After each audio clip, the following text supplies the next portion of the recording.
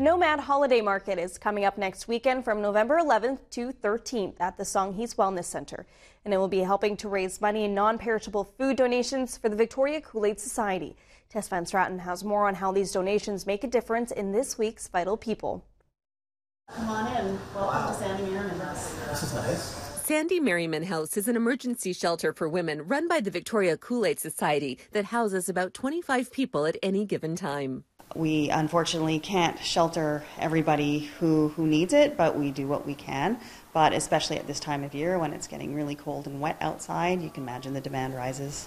And here is the kitchen where the meals are made and people come for lunch. And with more and more people struggling as food and housing costs skyrocket, demand for help is growing. What we're seeing right now is really the impacts of the economy and inflation, and we're all feeling it, but especially those who are on very low income, you can imagine how much they're struggling with. But the upcoming Nomad Holiday Market, a collection of artists and makers from all over Vancouver Island and the mainland, is hoping to help. We'll be collecting money at the door and collecting food at the door.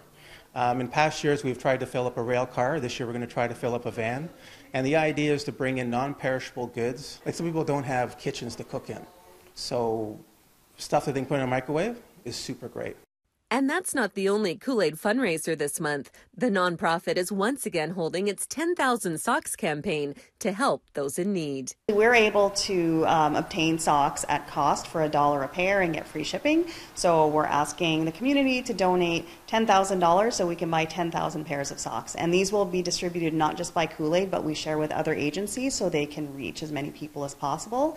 The sock drive runs until the end of the month, and Kia Victoria is matching the first $5,000 in donations. I'm lucky because I can see the impact every day uh, when I visit places like Sandy Merriman House and or our seniors facilities or our buildings, and I see the dedicated, caring staff supporting people who really need it. It just makes me feel good. For Joseph and others who are helping, the reason they do it is simple. Makes my heart feel good. It's a really good time of year where people think about other people. And, and I think if I have the ability to attract a lot of people to an area, then why not collect donations? Why not collect some money? Why not help artists? Why not help people that need help? And that's what Christmas is about. Vital People, brought to you by the Victoria Foundation, connecting people who care with causes that matter.